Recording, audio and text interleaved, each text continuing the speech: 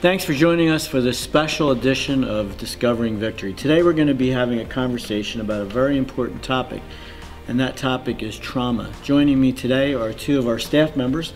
Dr. Lynne Jahns is the director of Barber's Place, and Melissa Smith is the director of Women of Character.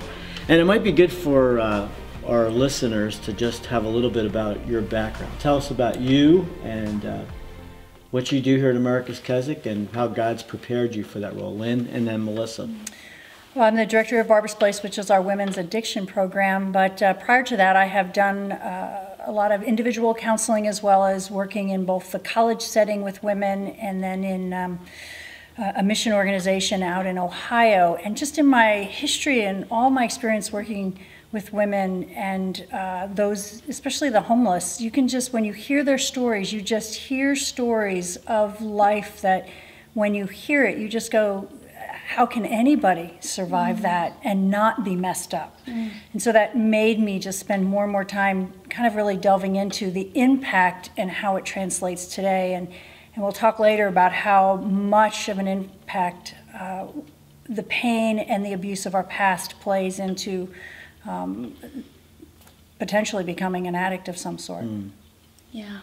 You know, my heart for trauma ministry uh, really is born out of personal experience first and foremost. Uh, I remember I lost my favorite uncle and my mother uh, within a two two month period, and I remember when I got the news that my uncle died, I went berserk. I, I just went out of my mind and screaming and carrying on. Two months later, when I found out my mother had um, passed away, uh, I just shut down. I was numb, frozen, dead inside. And, you know, uh, I faced ramifications of those losses um, for weeks and months and even years afterwards. So, uh, first and foremost, a personal experience. Uh, I was a police officer for eight years, mm. and just seeing, you know, the, uh, the things that people go through domestic violence, um, accidents, um, seeing loved ones, as Lynne mentioned, struggling with um, drugs and addiction and um, also, I have had, uh, you know, many family members that have struggled with uh, personal traumas and uh, are still grappling with the effects of that.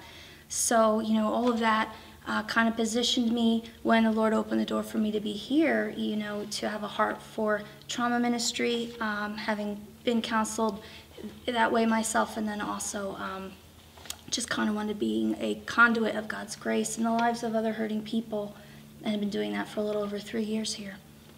So let's start at Melissa. Why don't you define for us what is trauma?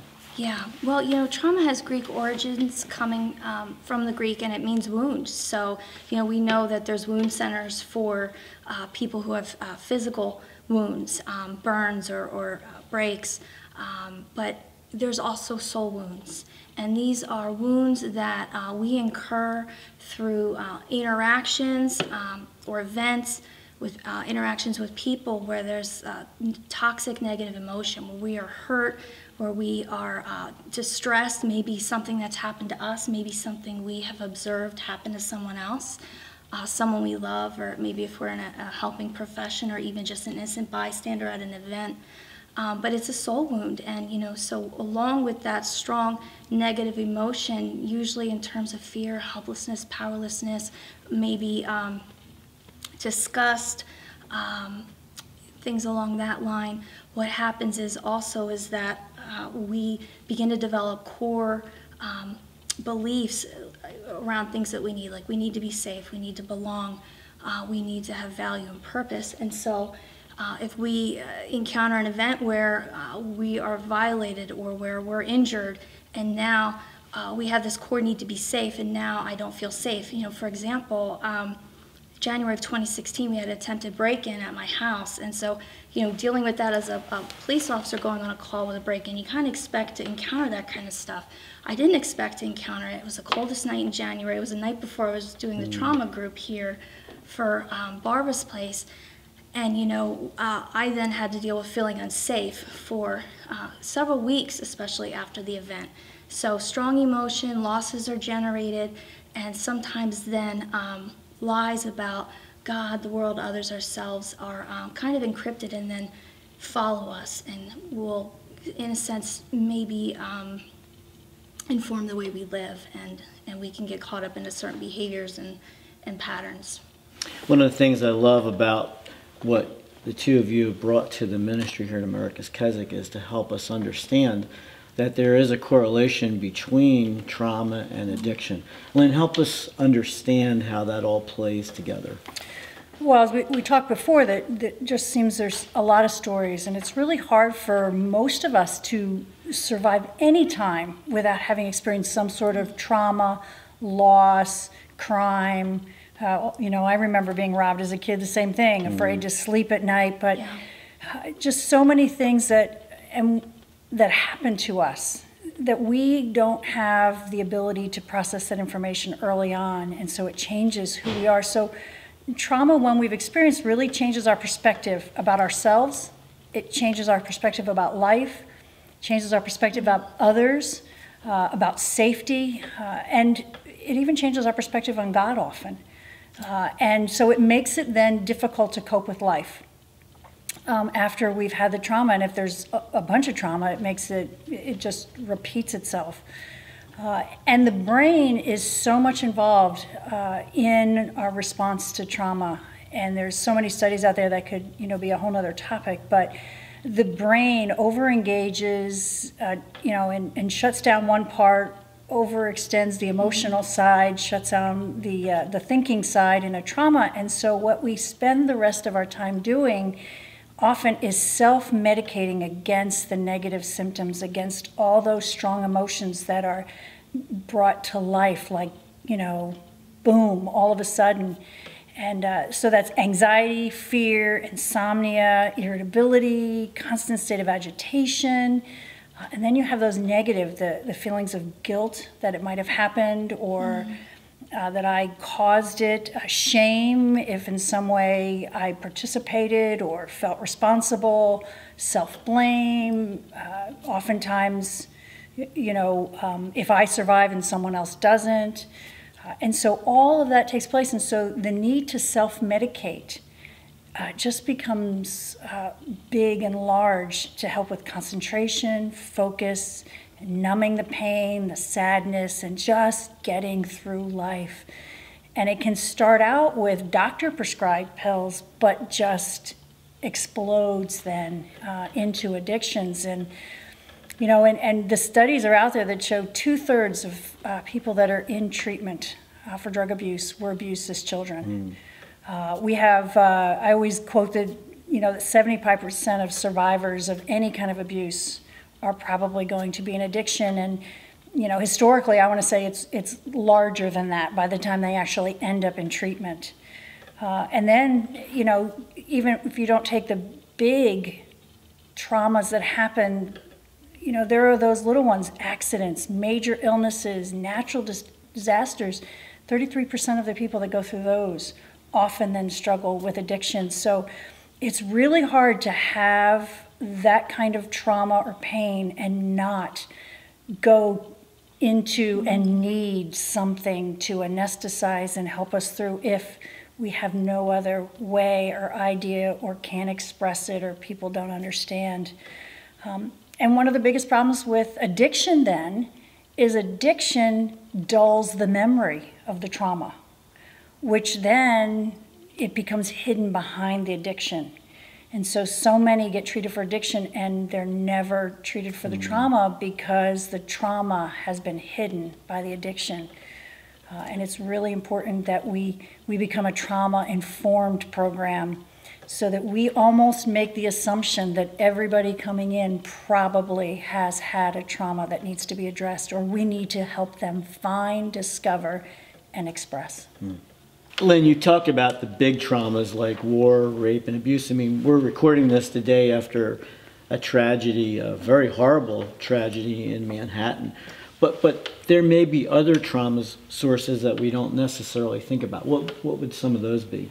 Okay, let me start by breaking it down into almost two um, headings of trauma, and one would be the one we've all heard about is PTSD. It's uh, you know post-traumatic stress disorder, which is kind of a common word today. But when you think about PTSD, that is trauma around usually isolated events. Um, that would be trauma, which would be rape, or if they were in a war, like a specific battle that they were in.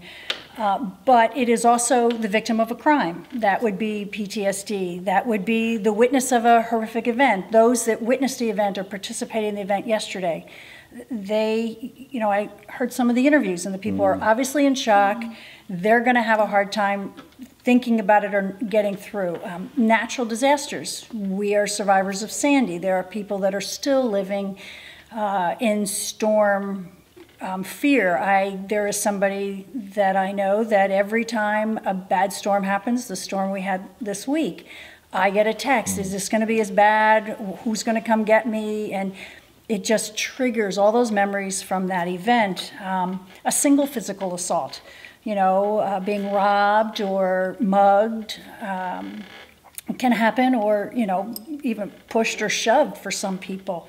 Uh, you know, and then there's being involved in a, a deadly or serious car accident where you barely escape with your life, or you've spent a whole lot of time uh, in the hospital. I mean, anybody who's been in an accident knows the residual effect of driving afterwards, and so you think if you know that kind of rubs into all different areas, and then. Um, and then any kind of a serious physical illness that someone may have, there's just that residual or having overcome uh, cancer.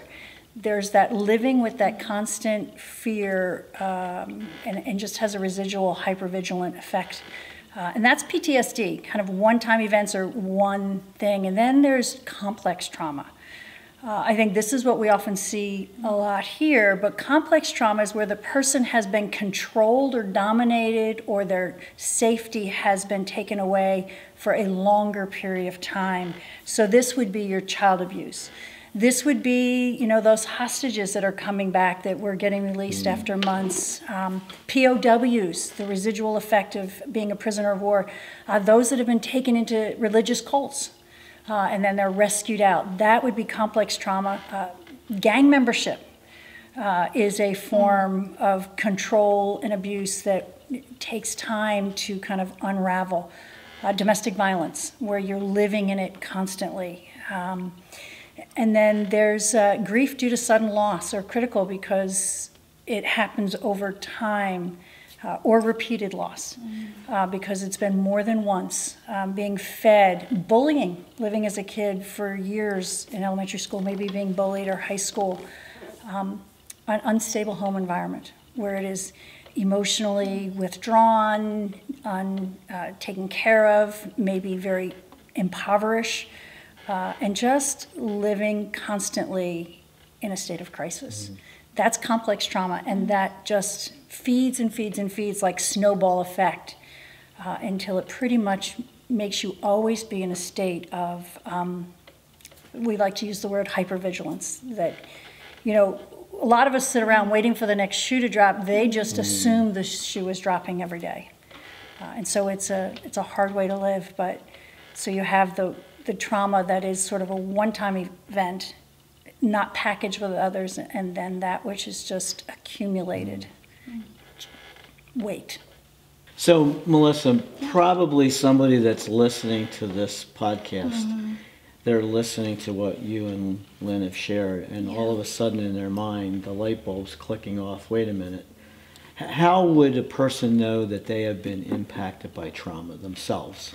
Yeah, you know, and just like we talked about how it's a wound and we compared it to a, a physical wound, um, there's uh, degrees of severity, you know, when we're dealing with traumas. So, uh, on the more severe end of the scale, Dr. Jahns, you know, spoke to some of those things uh, where a person may have, uh, a, it's more these subconsciously spawned behaviors that a person isn't necessarily thinking, okay, I'm going to get startled, you know, uh, so they're going to have anxiety. Uh, probably panic attacks, um, uh, hypervigilance, hyperarousal, uh, startle response um, that is easily triggered. Um, there's intrusive symptoms such as um, flashbacks, uh, nightmares, night terrors, these, these uh, gripping, terrible dreams that uh, someone, you know, almost feels like they can't wake up from.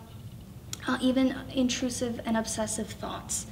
Um, and so, and some some of the other responses can look more like avoidance, uh, withdrawing, isolating from people, withdrawing, isolating from triggers or environmental cues related to the trauma, you know, because what happens is that um, traumatic event indelibly encrypts all the information from the event in the person's mind. So sensory data, certain smells, sights, sounds, you know, maybe it was a bright sunny day, maybe it was cold, um, any of that gets wrapped up in the whole package, which we call the trigger. And so that gets stored, so that person might want to, you know, avoid something that's going to not consciously remind them of the trauma, but subconsciously remind them of the trauma. And kind of on the lesser end of the scale, kind of speaking to, you know, grief and loss and things that we're all going to go through, um, neglect, rejection, hurts and pains. Um, that's where maybe someone's experiencing a disconnect, a disconnect from what they know intellectually and what they feel emotionally. Uh, you know, they might say to their, their spouse, you know, you don't love me, you don't love me. Uh, they may, uh, you know, feel very unsafe and, and get caught up in behaviors that just don't match and fit the particular situation or level of life. You know, again, things revolving around safety or significance or value, belonging. Um, something else uh, Two is just basically having worked with a lot of people at this point. Um, when people have been through something, uh, a loss or a death, and they've never really talked to anyone, that's one of the things I ask who have you talked uh, to about this? Um, have you cried? Have you grieved? You know, because there's certain core things that need to happen that those shades of anger, shades of sadness, sharing our story either some people prefer through writing, some people prefer through speaking, you know, but these are some things that if they haven't shared their pain, if they haven't grieved, if they haven't been able to get perspective, not necessarily accept what happened, but accept that it happened, these are all kind of different cues and signs that maybe they're dealing with um, unresolved trauma or loss. So you've unpacked a little bit about uh, some of the effects of trauma and helping people identify what trauma is all about. What, what are the factors that influence how a person responds to trauma? Yeah, that's a great question. And I think I'm going to answer it by giving two examples. Uh, we've heard of a tale of two cities. We'll call this a tale of two ladies. Let's say a woman, um, you know, is walking uh, to the Mac machine and she gets attacked, she gets mugged. Um, she's got a cell phone. Um, somebody in the bank sees it, the police respond immediately. Um, the guy is uh, apprehended soon after. Uh, she goes home to a house where she has a husband who's uh, present, who cares, who's engaged. Um, you know, she's got health insurance that uh, offers counseling sessions that are affordable. Uh, she's plugged in at her church, has good support, gets cards and calls from people um, that she's connected with. And, and so, uh, you know, she may not have the need to uh, professionally process what she's been through, but she's processing it with her family, with her friends, uh, with her uh, safe people. And let's kind of contrast that to the lady who, same situation, but um, maybe she lives in the city and the police response is uh, delayed. She um, comes home to an empty house um, and then, uh, or maybe we could say she has children that are depending on her. So she's not only able to, not able to process what she's been through, she's taking care of other people. Um, so Lynne was talking about post-traumatic stress, you know, and there's post-traumatic stress and then there's post-traumatic stress disorder. And so we all kind of experience stress and, and negative effects when we've been through something, but uh, in, a, in a healthy way, if we're able to, to calm down and process that, it doesn't turn into what's the actual, you know, disorder in a sense. So, uh, you know, and another, let's say that this second woman has um, mental illness or, or previous uh, mental health issues that she's struggling with. Um, maybe the, the, the guy's never caught or If he is caught, uh, he gets off on a technicality through the court system. So you can just see how many factors interpersonally, you know, intrapersonally within the person, in their environment, um, at home, their environment in a sense where they live, and just the, the overall response, and, and all these factors can kind of interplay and really, so let's say take a level four trauma and make it a level eight experientially, or really take a level four trauma and, you know, within a month or two, um, that's resolved, which would be like the case with me with the attempted break-in. This is something that had been resolved, you know, because uh, a lot of positive factors were in place. Lynne, uh, the theme for next year at America's Keswick is Unleashing Hope. And, and, and that just keeps going over and over in my mind. And, and what I love about what we're able to do here at America's Keswick through our Addiction Recovery Ministries is to provide hope. Uh, what can be done to help someone process or heal from trauma?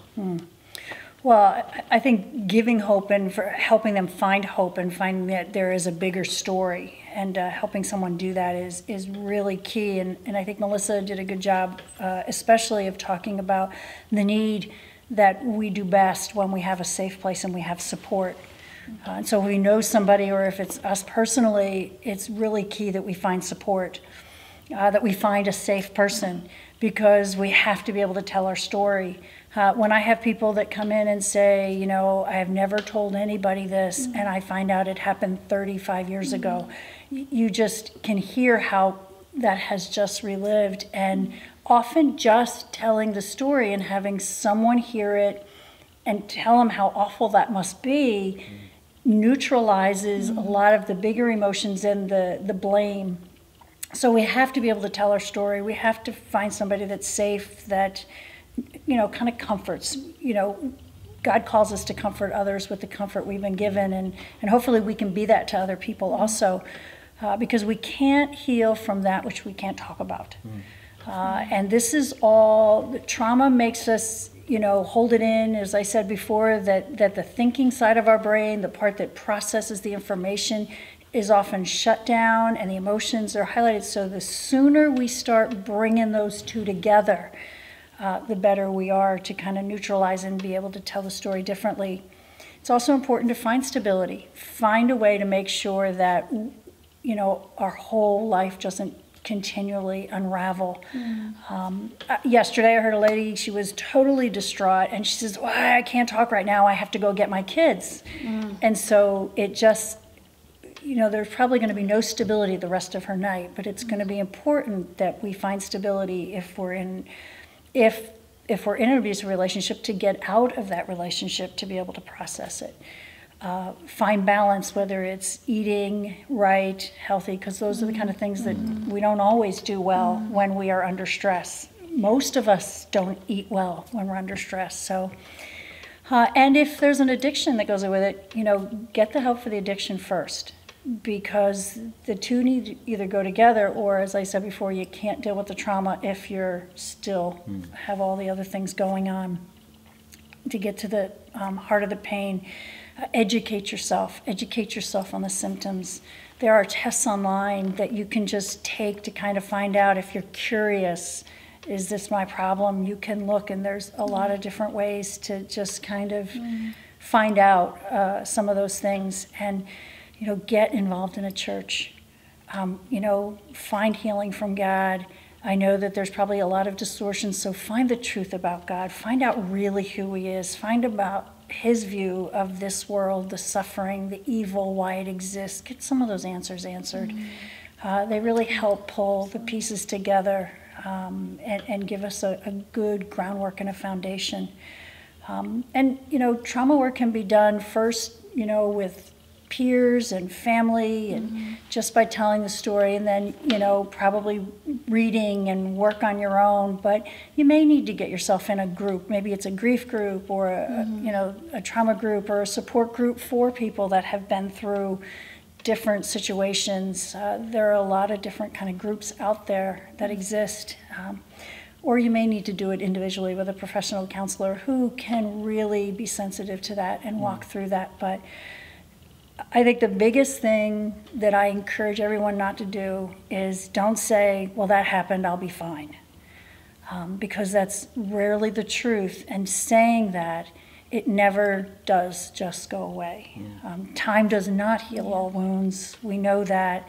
Uh, but we want to believe that if I just keep telling myself it didn't happen or it's not a big deal, uh, and if you're telling yourself that, that probably means you need to go talk to somebody about it.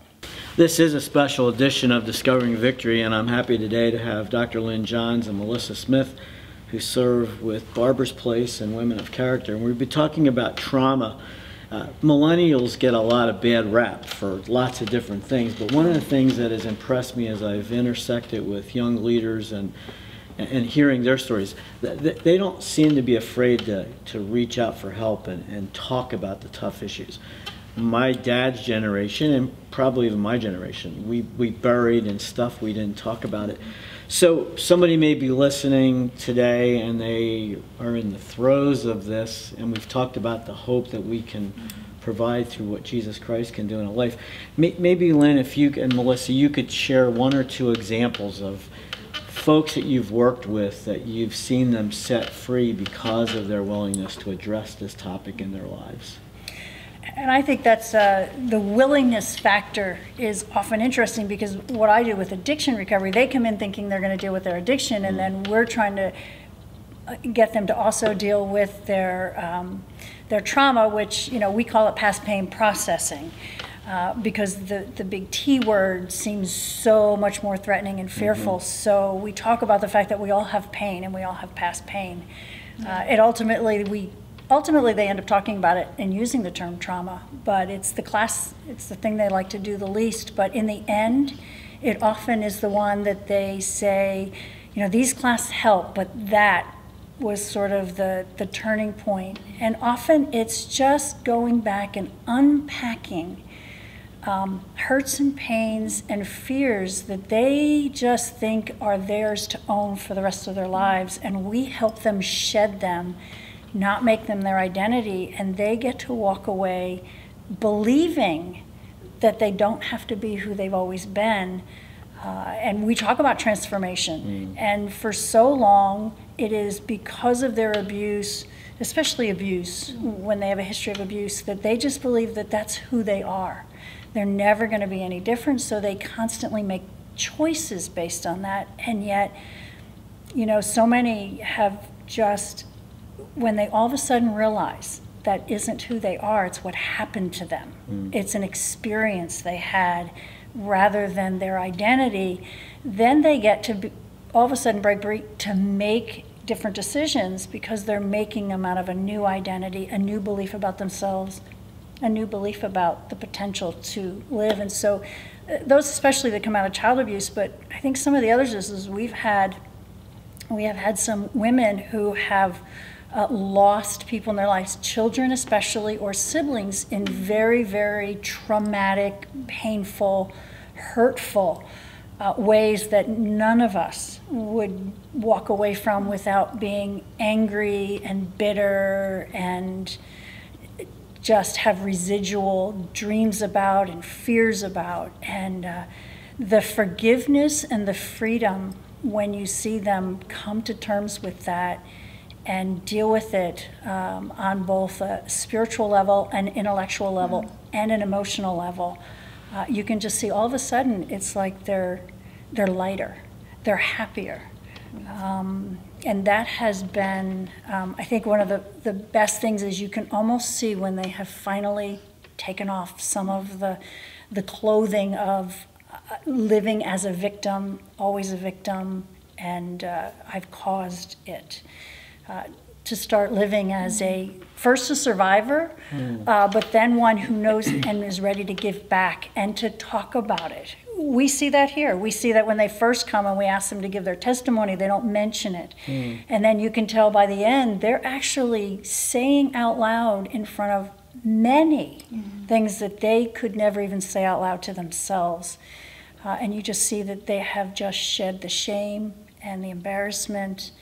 Um, it's not that they want to talk about it all the time, but you just see that they are no longer living with this deep, dark secret. Um, and there's freedom in that.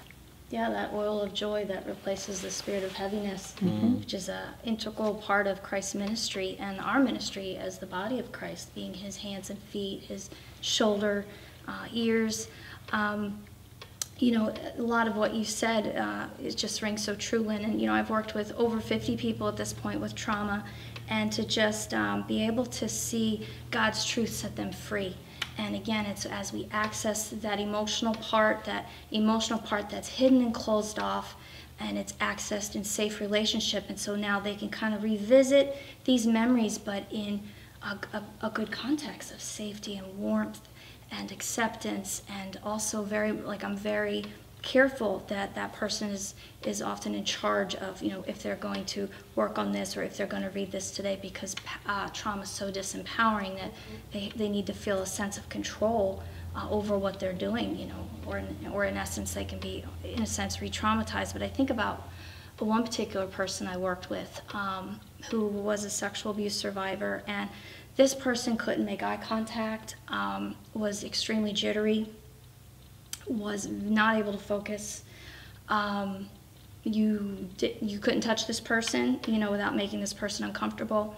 And I just let the person know uh, I give hugs, but they have to be um, wanted, and that you know you can let me know that, that if and when you want one. Well, you know, weeks and months later, that you know the person would grip me up on a weekly basis and, and, and get that that hug, you know. Uh, but just what's amazing is, and I, we always want to be careful to be general enough because we I don't want to um, be able to identify who I'm talking about. But this, you know, I know that God is using this person amazing ways, and um, that this person's testimony and ministry is enhanced because of the that uh, you know Isaiah 45:3, those treasures of darkness. This person was able to get. Uh, through the experience, you know, A.W. Tozer calls it the, the night ministry, or you know, uh, we know desert experiences, all different names for that going through the valley of the shadow and coming through changed, but ultimately better, you know, and a tool for the Lord to use. What would you say, how would you encourage a spouse who may have a spouse who's in the midst of trauma? Like they, they may not have a clue what to do to help their mate. What, what would you encourage them to do? Well, I would encourage them to get help and get some understanding and get some support to be able to help them uh, find their own strength, their own emotional understanding, and for them to uh, understand what is available so that they're not going out there to do it and try to bring this person alone, but Yeah. to be able to offer to team up, to take two. Uh, oftentimes, I think as spouses and family members, we think we're the ones that have to do the work, and oftentimes we're the one that has to do the legwork to be able to give the information, to give the love, the support, to not feed the condemnation, but to help them talk about it, uh, to help them express and not let them close off, uh, and to, to, to point them in the right direction or go with them. You know, oftentimes, especially to grief groups or some of the groups the first time is, is you know, we we bring somebody if that's how you need to come and and come through this together, uh, join up, uh, really, and and start praying and and getting the body of Christ to pray, pray with them, pray for them, uh, intercede for them, because the Holy Spirit can do the work if we are there, constantly showing them that we care. They will come around and say, "Okay, I'm ready to do this." Yeah, I love the balance in that, you know, doing our part and not confusing that with God's part. And uh, yeah, being a, a, a stable, secure, healthy, uh, grounded in Christ, in one's identity in Christ as a spouse, knowing not to take that behavior personally, responding well, not reacting. Uh, that was one of the big game changers is when I addressed my trauma, you know, uh, my husband was very happy about that because you know I was getting triggered and I was reacting uh, from things in, from that I went through, you know, and so um, that would dovetails with what you said. But just uh, we can only do our part, you know, and then to know um, to educate that person and just to be a safe place to care, uh, to minister to our spouse um, in the ways that God calls us to. So we witnessed in this area the, the devastation of Sandy, and obviously we've just talked about earlier in the podcast the event that took place in Manhattan. These are questions not on the, the Yeah. list, not my spiritual gift. We've noticed that. Yeah, but so like I don't think this terror stuff is going to go away. I mean, I think this is be- going to become more and more a part of the world that we live in, which is obviously going to be very traumatic for folks. How, how do we how do we deal with that? How do we help people process through stuff like this? Well, I think it's really important, and, and this is one of the new classes that we're teaching at Barbara's Place, is that God from the beginning has told us that in this world we will have mm-hmm. tribulation, mm-hmm. that the world is only going to get more difficult, evil exists from the beginning of time. If you read scripture, mm-hmm. man has been out to take over man, one country out to dominate another. Uh, people with vendettas and their own issues are taking them out on everybody else. I mean, just reading the Bible, we can see that nothing new under the sun. Uh, and yet, what God continually says is, But I'm going to be with you in it, through it, uh, in spite of it, and I'm going to show you that. And, and he talks about the fact, Don't grieve as if you have no hope. Um, grieve, hate it, dislike it, but realize that our hope and our hope alone is in what God is going to do in the end. Uh, and that someday He is really going to make all this mm-hmm. new. Until then, He literally promises us that we have to live in the fact that we live in a world mm-hmm. that is difficult. But it's in those difficulties that we can go out and say, hey, this world is hard, but we've got the answer. If this world was a piece of cake, if this world had no problems, mm-hmm. nobody would need our Savior. And so we have, in the midst of all this, the avenue to go and say, we have what you need to walk through this. You know, and, and that great footprints thing where it says, you know, it's in that time where we feel helpless and feel like we're falling apart where God becomes most alive and real, and we know that it's not in our strength. And I mean, I would, that's so key that we mm. understand what the Bible says about living in this world and what this world is really going to be like, you know?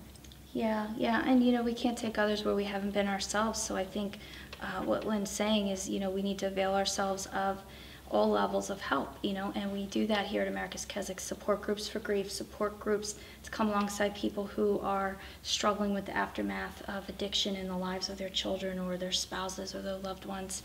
Um, and, and also just the fact that we have count, the counseling groups available, um, doing our own work, and then being available for the Lord to use us uh, as conduits of His mercy and healing grace. You know, uh, we're stewards of the grace of God, and we're ministers of the grace of God. Ephesians 4:29, 1 Peter 4:10.